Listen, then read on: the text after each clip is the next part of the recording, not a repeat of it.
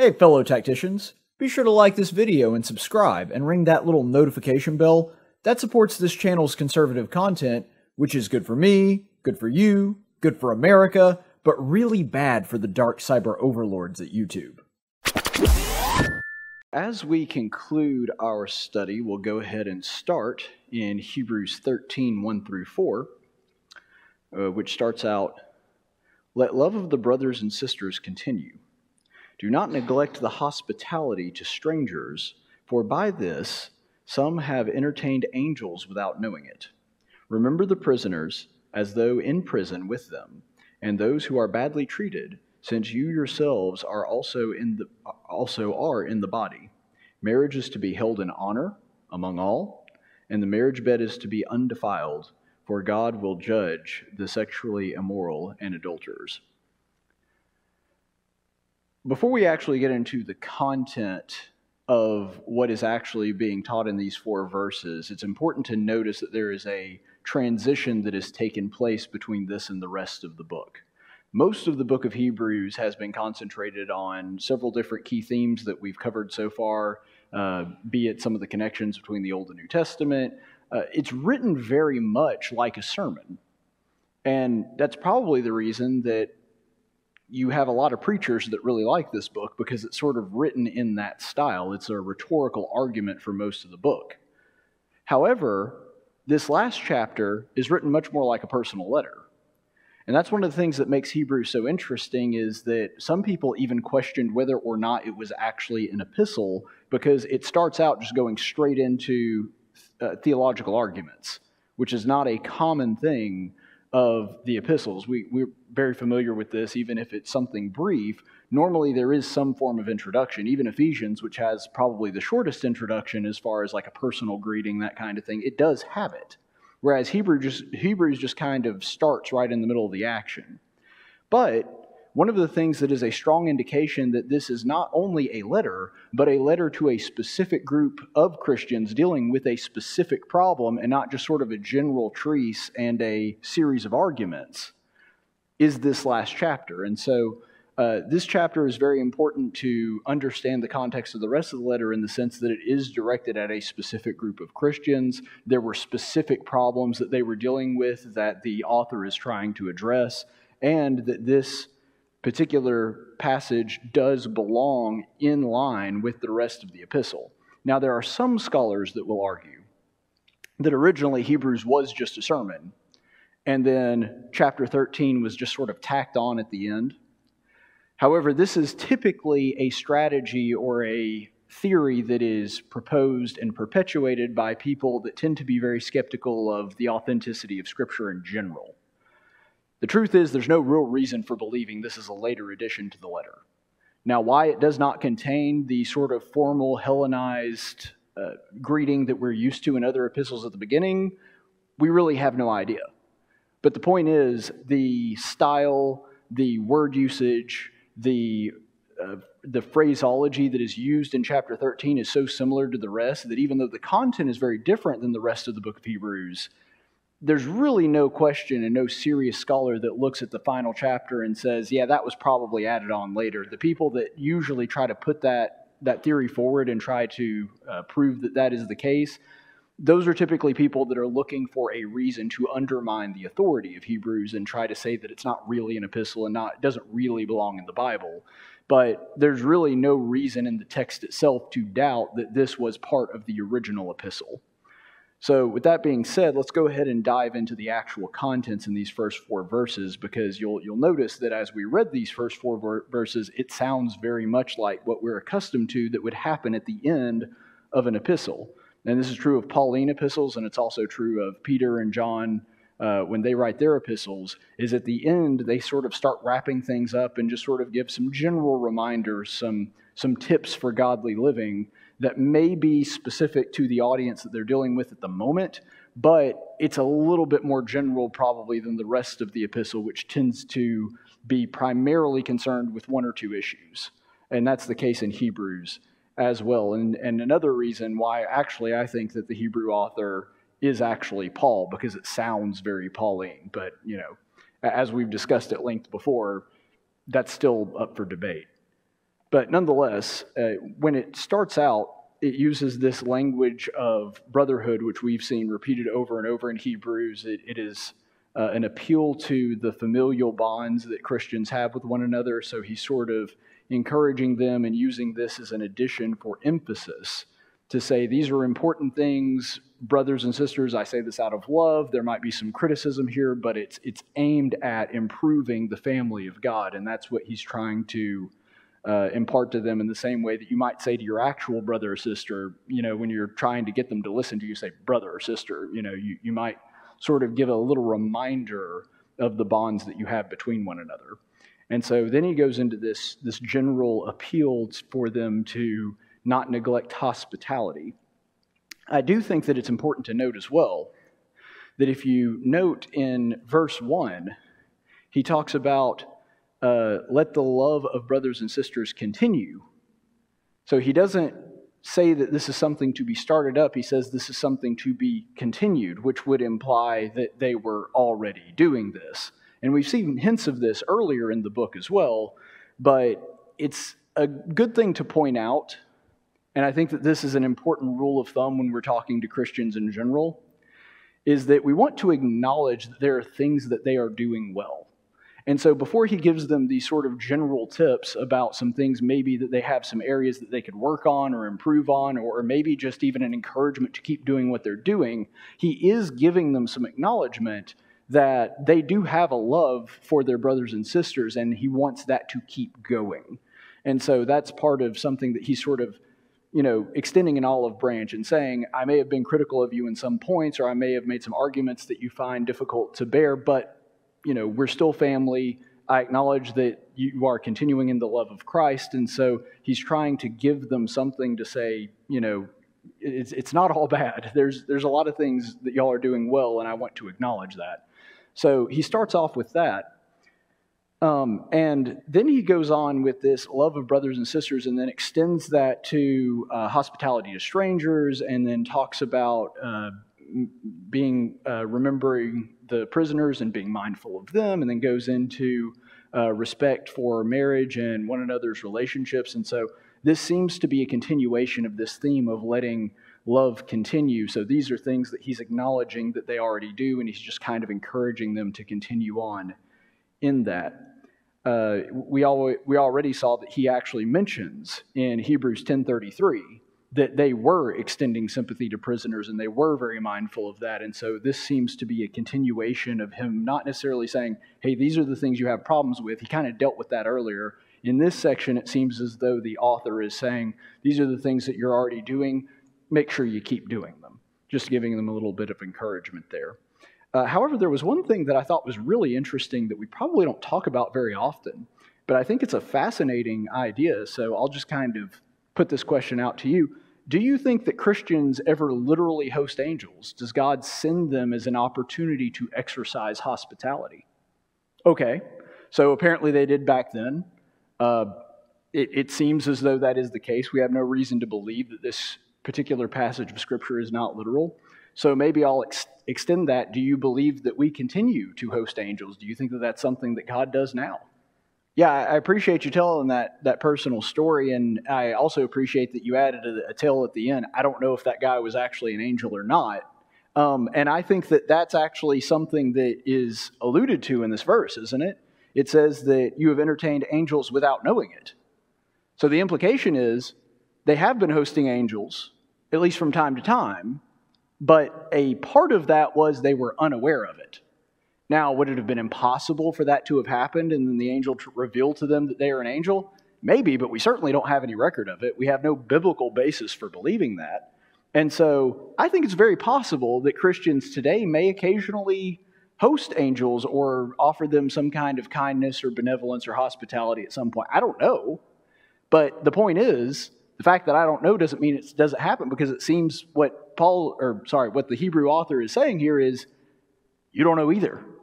So that's an interesting thing to think that perhaps we have at times hosted angels uh, in the literal sense. Um, we know that that has happened elsewhere in the scripture, just not in the New Testament. Uh, for example, Abraham and Lot both hosted angels in Genesis. You remember that uh, they came to uh, Abraham and, and spoke to him, and he offered them some food. There were three angels at that point. Uh, Lot did the same thing, and then the whole thing with Sodom and Gomorrah. Uh, Gideon also hosted them in Judges 6 11, uh, and uh, somewhat lesser known when Manoah actually hosted angels a little later in Judges in Judges 13:3. And so this is something that actually does have biblical press, uh, a, a, biblical background. Yes, right. And I think that that's an excellent point as well. Um, regardless of whether it's done in the literal or not, it is an encouragement to extend hospitality to strangers because you don't know. And so the the point is this is the way you live and this is how you operate within the world whether there's angels or not, because I think God would be just as pleased with us if all of our hospitality were directed towards people that were actually just in need. Now, maybe He extends those opportunities to us in the form of sending angels on occasion, but whether He does or not, He's not going to tell us, so we just need to operate like it all the time. Uh, it's the same reason I think that God never tells us when the judgment is. I think that's pretty clear from the parables of Jesus Part of the rationale behind that is because we're just supposed to live like Jesus could come back at any minute. And so, because of that, um, we're not given certain information because God wants to encourage us to good works for that specific reason. So, yeah, ec- excellent point to bring up that the teaching is the same regardless of whether it's literally true or whether it's figurative. I think that it's literal, um, but whether I do or not, my behavior remains unaltered. Um, so, in verse 3, I think there's an interesting part that is brought up because he talks about being mindful of prisoners since you yourselves are also in the body. Now, that's an interesting bit of symbolism there because for any of you that have had, for example, foot pain, you know that when you have foot pain, it doesn't stop in your feet. It, it goes up to your legs, it can go into your hips, your whole body can hurt because one part of your body is hurting. That's not always the case. Uh, but you know, if, if you get a pinched nerve in the right place or something, you may actually only have a problem with one part of your body, but the whole body feels pain as a part of that. And so there's this symbolism that is presented here that if the church is going to be the body of Christ, then when other brothers and sisters hurt, that pain should be felt by the rest of the body. We, we can't have a sort of apathy or indifference towards others in the, the congregation um, we, we can't do it just sort of, that's not my problem sort of mentality. Uh, if the body of Christ is operating the way it is properly, then pain in one part of the body should be felt by the rest of the body, and it should also be used as a motivation to help, uh, you know, relieve that pain to some degree. And I think that that's one of the reasons that he's connecting it here with this sympathy that apparently the, the Christians he was writing to actually had been showing, as we saw earlier in the book of Hebrews that, um, you know, we, we may never have been in prison, but that doesn't mean that that's not a pain that we can't feel, and that's not a ministry that we can extend outwardly because even though we may not relate to that one specific circumstance, it could be us. And in the first century, I think that that was even more prevalent because they didn't have a First Amendment back in ancient Rome. And so they could have very well been taken off to prison merely for believing that Jesus is the Christ. And we're indicated by earlier portions of this book that in some cases that was literally happening. And so uh, this is a call to help prisoners specifically, but I think it's also more of a general idea that Christians should be able to exercise empathy even if they have not been in that specific circumstance through the pain that they feel with other members of the body. Uh, verse 4 also is interesting, and I think it actually does tie into the earlier idea, even though it seems a little bit like it's changing subjects. Uh, ultimately, where it talks about marriage being held in honor, it's important for us to know that the church is God's most important institution. There are no caveats on that. The church is far more important than any other institution God gave mankind. However, keep in mind that marriage was the first institution. The church may be the greatest, but the marriage institution was the first actual institution that man was given by God. It precedes the law of Moses, it precedes everything else. And so there's something fundamental to the human nature to honor marriage and to respect it specifically because it is a gift and a blessing given directly by God. And I think that one of the things that it's speaking to here where it talks about being held in honor by all. Yes, marriage is a vertical institution in the sense that God gave it to mankind. And yes, we understand very quickly that it is a horizontal institution in the sense that a man and his wife have respect for the marriage towards one another. However, this is really not so much an encouragement to that specifically. I think that that's in there, but I think what this is primarily a call to is a call to everybody else to respect marriages between men and women. You know, I'm a single guy, obviously, that's not a secret.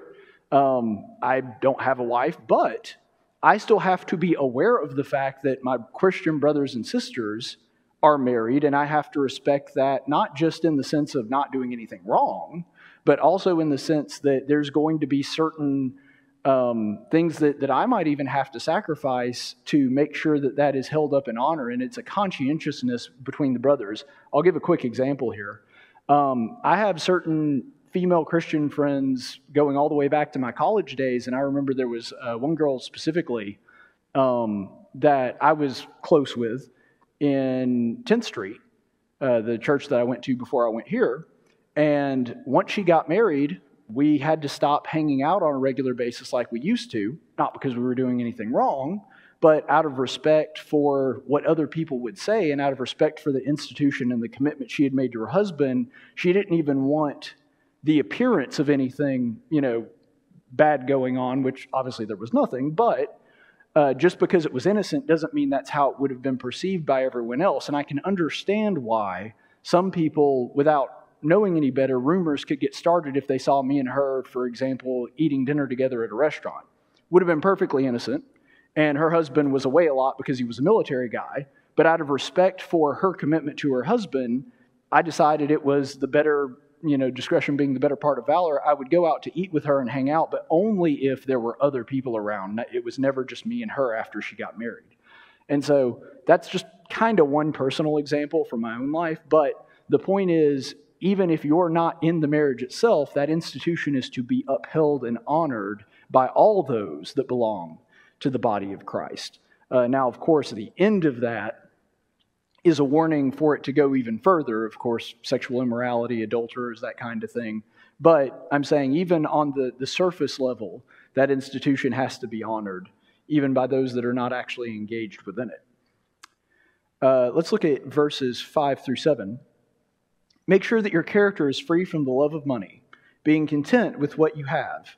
For he himself has said, I will never desert you, nor will I ever abandon you, so that we may confidently say, The Lord is my helper, I will not be afraid.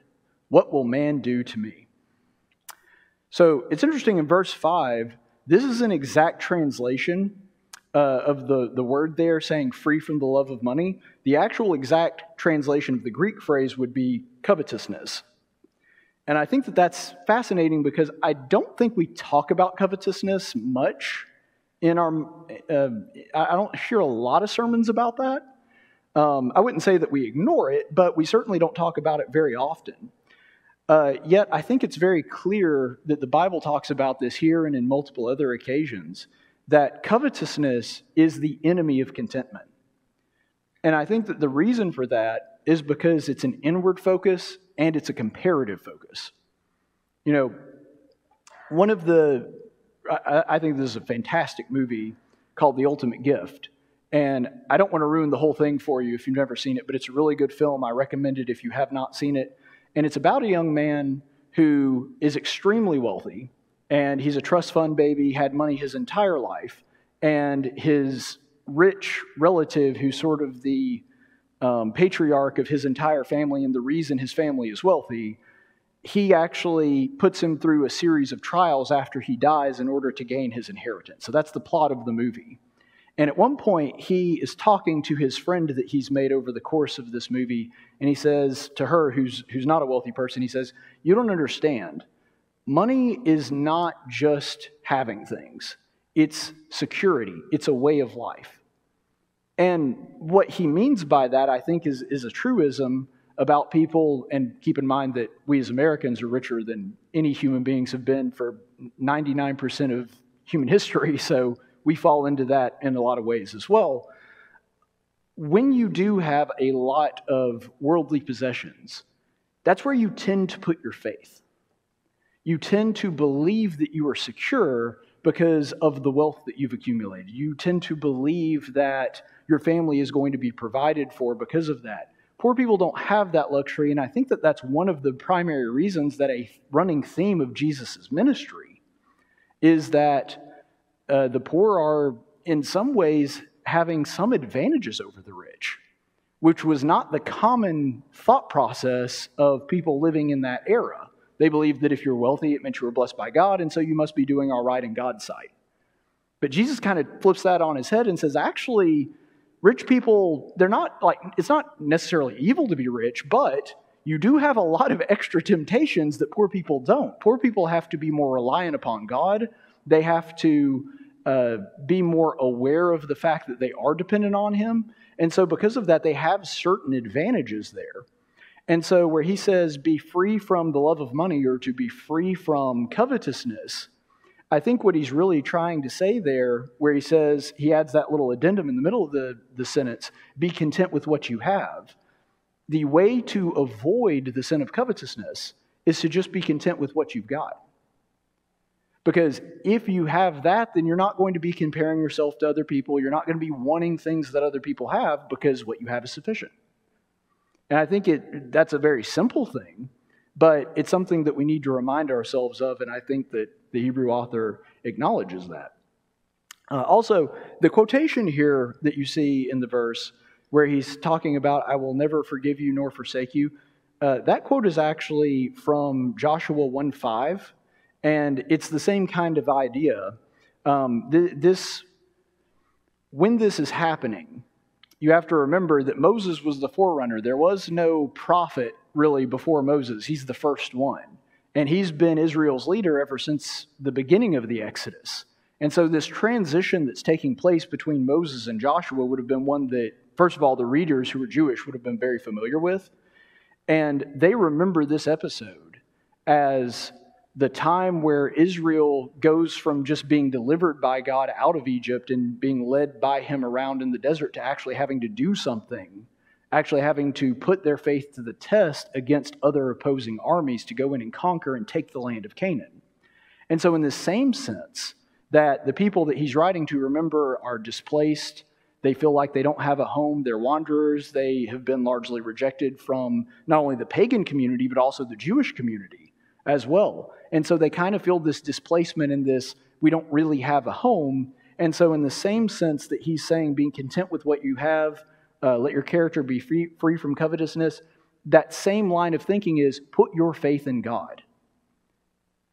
You're correct to assume, because we see it happening in real time here, that the people that he's speaking to are being persecuted. They don't have a lot to depend on around them. He's saying, let God be the source of your faith in the same way that the Israelites were kind of in a similar situation in the time that they went into the conquest of Canaan. Let your contentment be with Him because Him you do have. You may not have a lot of worldly possessions, you may be in bad straits, but you do have God and be content in Him. That's really the message that he's getting to. Now, this other quote is actually directly taken from Psalm 118, and we'll go ahead and read verses 5 through 9 to put it in context. For my distress, I called upon the Lord. The Lord answered me and put me in an open space. The Lord is for me, I will not fear. What can man do to me? The Lord is for me among those who help me. Therefore, I will look with satisfaction on those who hate me. It is better to take refuge in the Lord than to trust in people. It is better to take refuge in the Lord than to trust in noblemen. And so you can see from the context of this psalm why this was included in this particular passage of Scripture. Well, in these few verses where the theme is don't put your faith in money or other people or your sense of community with the Jews or any of that stuff. Your faith should be in God and God alone. You should be content with Him. And then he cites this psalm where, if you're looking at it, that's exactly what this psalm is talking about. He's saying, Don't be afraid if God is on your side, you don't have to worry about that stuff because He's going to take care of you. And so that's really the running theme that is going through these few verses. And the quotation of Psalm 118 is very appropriate for exactly that reason. So let's go ahead and look at verses 7 through 9. Remember those who led you, who spoke the word of God to you, and considering the result of their way of life, imitate their faith. Jesus Christ is the same yesterday and today and forever. Do not be misled by varied and strange teachings, for it is good for the heart to be strengthened by grace, not by fools, through, uh, through though which those who were so occupied were not benefited. So, a couple of quick things on the Greek part of uh, verse 7 here.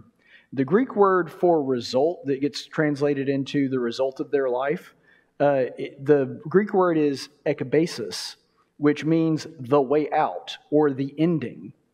So, the implication here is that the people that he's talking about have already died. Now, maybe these were people that were members of the apostles. Maybe these were people that were sort of the first generation Christians that had actually seen Jesus and spoken to him. But regardless, these were faithful Christians that these people had looked up to. And this is part of the reason that I think that it's probably addressed to Jerusalem, but you know that's a, a side discussion. Um, but whatever group that he's talking about that he wants them to emulate, these are probably Christians that have already died based on the context and based on the Greek word there. And then the second Greek word I want to talk about, where he says, considering the result, consider uh, anatheorontes, means to look back upon. And so he's talking about reflection.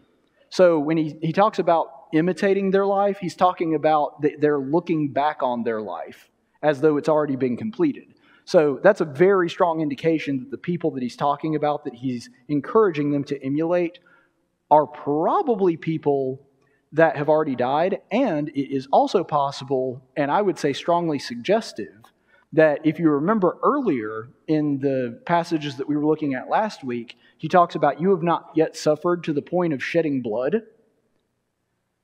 And then later he brings up this group of people that are no longer with them, people that were very faithful. Now, there's some guesswork going on here, I have to admit. But this could very well be talking about the same group. It is possible the group he is talking about are people that are dead because they were martyred. Maybe there's a mix of those. Maybe he's talking about faithful Christians that died of natural causes and those that are martyred. But it seems to me that that's what he's talking about. And so, in the same way that an Old Testament writer would make a call back to Israel be like the people of this generation that took the promised land, or be like the people of this generation, or the mighty men of David who, uh, you know, chased out the Philistines, or, or calling back to Bible heroes. He's connecting the two. So now it's not just, I'm going to reference all these Old Testament heroes that you revere, even though he does that earlier as well, but also there are Bible heroes that you knew. There are Bible heroes, men of great faith and valor, that have already passed on that you need to emulate now. So there's definitely Bible heroes of the past in the Old Testament, but there's also Christians that are, that are in that same lineage. And so, very much like an Old Testament writer, he esteems them. Go and be like these heroes that you knew and who were influential to your faith, so that you may live faithfully the way that they did. Um, and then verse 8 um, he's talking about Jesus being the same yesterday, today, and forever. He's saying, look, the same Jesus that gave them strength, the same Jesus that they put their faith in, and that they were faithful unto death, that's the same Jesus that you have in your corner too. So don't think that you can't do this or that it's too difficult or you need to turn back because they didn't turn back, and that's the same Jesus that encouraged them that can now encourage you. You have the same Savior. He didn't change, He's not less powerful now. And so if they could do it, you have the same resources made available to you. Now, in verse 9, he talks about and sort of contrast with the faithful Christians who were faithful unto death and influenced their faith with those who are doing what he calls strange teaching. Um, and it's important that the word here does not mean new teaching, but rather different than sound doctrine.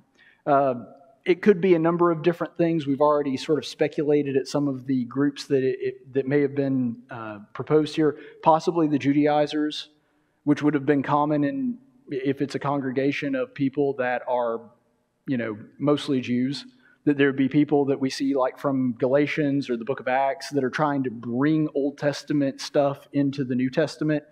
Very well could have been that group, could have been some other form of heresy, but either way, we have people that are not teaching sound doctrine that these people are aware of, maybe in close proximity to, and he's contrasting those people who have left the faith or have left sound teaching um, and are trying to put their faith in things like foods, which is mentioned in verse 9, which I think is a very strong indication these are, these are Jews that are trying to bring in Jewish dietary laws into Christianity.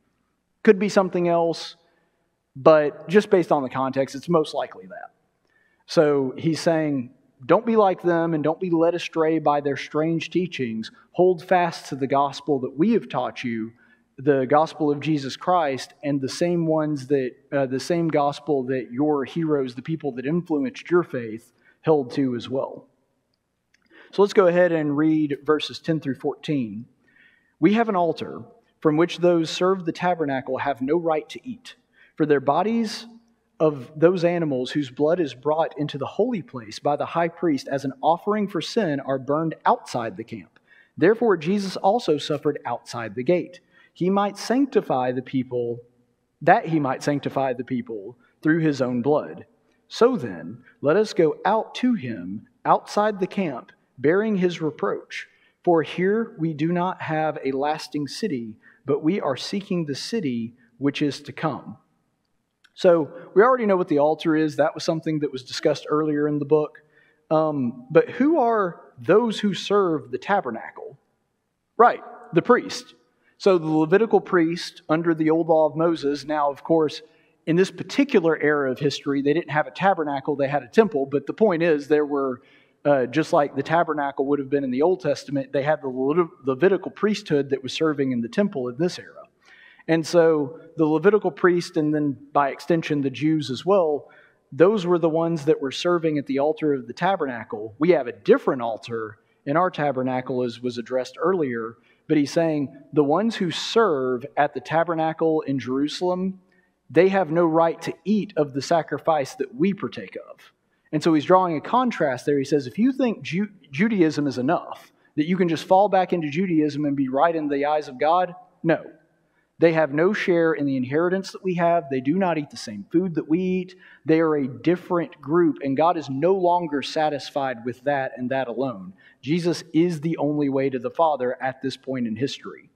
And so that was just sort of a reaffirming of what he's already been talking about for the majority of the book. And then he starts talking about a offering being made outside the camp. This is a direct reference to what happened on the Day of Atonement, which of course has been a running theme throughout this book. Um, and this is the only sacrifice where the priest did not eat at least a portion of the sacrifice. So, in every sacrifice that you're looking at in the Old Testament, uh, and this goes back to Leviticus 16 27, that was the one sacrifice a year that the priest did not get any of the sacrifice. All of that sacrifice was to go to God. And so, um, when they would not eat of that sacrifice, he's saying, in the same way that they have no part in that sacrifice, uh, they have no part in the sacrifice of the Day of Atonement either, and so they don't eat of that sacrifice. Unlike us, who have the perfect Lamb of God and partake in that sacrifice through his, his body, which is representative in the bread, his blood, which is represented in the fruit of the vine. Um, and it's interesting that he notes that it was taken outside of the camp for that to happen. Where was Jesus sacrificed? Outside of Jerusalem. He sacrificed in Gethsemane on a hill overlooking Jerusalem. He's not actually within the city when that happens.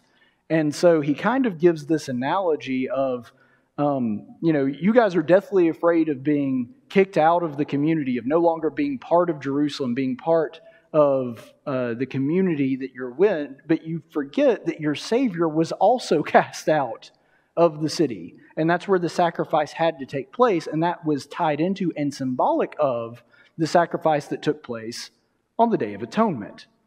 And so it has to be taken out of the city uh, for that to take place in the same way that you no longer, you know, you may not be as intimately involved with the community that you used to be. Remember that if you do that, and if you're no longer part of that community in the way you used to be, that Jesus wasn't either. That's why they took him out of the city and crucified him there. And so, uh, just drawing sort of a symbolic parallel there. Um, verse 13 talks about uh, going outside the camp with him, and that being really kind of what it, he's encouraging them to do, saying that in the same way that he bore the reproach of being cast out of his community, we bear that same reproach, and that's actually a good thing because we're following in Christ's spiritual footsteps. Uh, he makes a clean break from the community there. Uh, and then in verse 14, where he talks about having a not having a lasting city, but we are to seek a city which is to come. That's very much reminiscent of the language that we saw in chapter 11. You remember where he talks about Abraham being a pilgrim and being cast out from his home and, and following God wherever he may lead. And it talks about all these great Bible heroes being wanderers. And so this is sort of a direct reflection of that same language, which, by the way, side note, one more indication that verse 13 is not something that is added later because it's using the same symbolism that he was earlier in the same book. Um, so, in the same way that uh, Abraham had to leave his father's home, or that Moses left the comforts of Egypt, that Jesus also left his community and was taken outside to be crucified. And in the same way, you may have to give up your community in order to follow God correctly as well. And so there's a similarity being spoken of there. Let's look at verses uh, 15 through 17. Uh, through him, then, let's continually offer up a sacrifice of praise to God, that is, the fruit of lips praising his name. And do not neglect doing and sharing, doing good and sharing, for with such sacrifices God is pleased. Obey your leaders and submit to them, for they keep watch over your souls as those who will give an account, so they uh, so that they may do this with joy not groaning, for this would be unhelpful to you. If our sacrifice and our kingdom are spiritual, which verse 15 clearly says that it is, then that means our offerings, our praises to God have to be of a spiritual nature too. It's not enough just to say it, the fruit of our lips has to come from the heart. And so, in the same way that we have moved from the physical sacrifices and offerings of the Old Testament to the spiritual offerings, the same thing is being required of us here as well. Um, there is a spiritual sacrifice, but as verse 16 would point out, yes, it is spiritual, but there are physical, tangible, real world results. So our offerings and our praises to God may be spiritual in the sense that we don't have to sacrifice an animal and then burn it in a physical way to give up offerings to God. However, that does not change the fact that we are still expected to do good, that we are to take care of one another, that we are to be our brother's keeper, and that we're to look out for uh, our fellow Christians and also the, com- the human community as a whole. That is something that we are obligated to do. And so it's, that section is kind of ended up with, and with such sacrifices, God is pleased. Uh, verse 17 includes an encouragement to follow the new church leaders. Um, and also kind of a warning as well. I think that there's sort of a symbiotic, uh, symbiotic relationship that is being alluded to here. So he talks about obeying your leaders and submitting to them, um, and to the, and he also is kind of alluding to the fact that we need to be good followers as well. But there's also a warning included for, for elders and church leaders as well, because he says that they're going to have to give an account. And so, uh, in both senses, we're supposed to be working together to make each other's jobs easier. The members are supposed to be doing the best that they can to be good followers, to not make the job of church leadership a drudgery or something that's difficult for them to do. And in the same way, uh, they are to, to us, remember that they have to give an account for our souls. And so, because of that, there is an encouragement to them to remember that you know, you, you have a great position of authority and something that is to be honored, but at the same time, that means you got extra responsibility and extra, extra things that you have to give account for. And so there's this sort of uh, symbiotic relationship like a family where we're supposed to be helping one another and encouraging one another to be able to do God's work. Uh, verses 18 through 21 Pray for us, for we are sure that we have a good conscience desiring to conduct ourselves honorably in all things, and I urge you all the more to do this, so that I may be restored to you more quickly. Now, may the God of peace, who brought up from the dead the great shepherd of the sheep through the blood of the eternal covenant, that is, Jesus our Lord, equip you in every good thing to do his will, working in us that which is pleasing in his sight through Jesus Christ, to whom be the glory forever and ever. Amen. Now, there's some interesting word choices here I want to take your attention to. First of all, he says, pray for us. Who is us? It's obviously second person, which means that whoever is writing this, it's not just him, it's a group. Now, that this could lend credence to the idea that we discussed in our introduction that this epistle is written by committee. In other words, it doesn't have one author, it's maybe two or three different people. I don't think that that's necessarily the case because he has used the first person before. So uh, I think what he's talking about is there is a group of elders, or maybe it's written by an apostle. And then further on in that same verse, he talks about, or not in that same verse, but uh, later on in that same passage, he talks about that I will be restored to you, which would suggest that whoever is writing this is probably in prison. Now, let's see, who could have possibly lived in Rome that was imprisoned and was an apostle? Again, it's not a sure thing, but I think this is a pretty good indication we're talking about Paul here. Um, could be wrong, but I think that that's the case. I don't mean to beat that dead horse, I'm just saying. Right, and th- this passage alludes to that too. Yeah, that, that Paul was always asking people to pray for him, and so that's something that was very consistent with the other Pauline letters. So, very quickly, we'll, we'll end up here with the last few verses. Uh, let's see, 22 through 24. But I urge you, brothers and sisters, listen patiently to this word of exhortation, for I have written you briefly. Know that our brother Timothy has been released with you, whom, if he comes, I will see you. Greet all of your leaders and all the saints. Those from Italy greet you. Grace be with you all. Yeah, I wonder who else was a traveling companion of Timothy. I'm sorry, I promised I am not going to beat that dead horse anymore, but Come on, guys, it was totally Paul. Anyway, uh, so in verse 22, there is a mark of Scripture that he desires them to hold to it. And it also suggests to us that Timothy was imprisoned himself, which is interesting, something that we don't really have record of anywhere else in Scripture. Uh, however, the ending of this, I think, is an indication of the whole of the book, which first, the letter seems to originate from Rome. But the encouragement, he says that this is a word of exhortation, and he's giving them a little bit of encouragement that he wants to see them soon. Ultimately, I think that the thrust of this entire book has been hold on to Christ and never let him go. No matter what. No matter what the social pressures are, no matter what your background is or what trepidations or hangups that you may be having, hang on to Christ and never let him go for any reason. That is the theme of the entire book of Hebrews. And if you got nothing else out of the class and got that out of it, I think that it's been well worth your time. Thank you so much. I've really enjoyed this class and I appreciate your attention. Ever wonder where Superman gets his incredible powers? Some people say it's the yellow sun of Earth, but I think it's because he subscribes to this channel and likes my videos. Now, I'm not saying that if you subscribe to my channel you'll necessarily wake up tomorrow as a super strong, nearly invincible alien, but it definitely doesn't hurt your chances.